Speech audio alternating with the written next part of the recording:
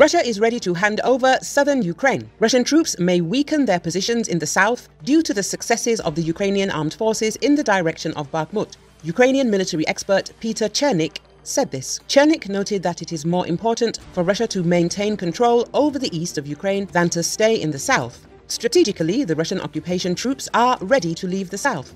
Otherwise, they would not have prepared to hold the line at Perekop. Chernik believes that losing the south but keeping the east would be a much smaller defeat for the Russians than losing Bakhmut and other cities in the Donbass. At present, the Russian military is trying in every way to slow Ukrainian armored counter-offensive operations in the south of the country. The core of this approach has been Russia's very heavy use of anti-tank mines.